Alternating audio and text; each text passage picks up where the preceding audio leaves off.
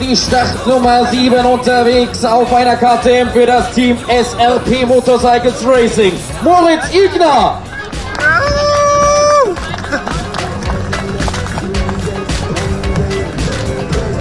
If you wanna just believe what you wanna believe, then you can leave it up to me and I'll give you the key. and see.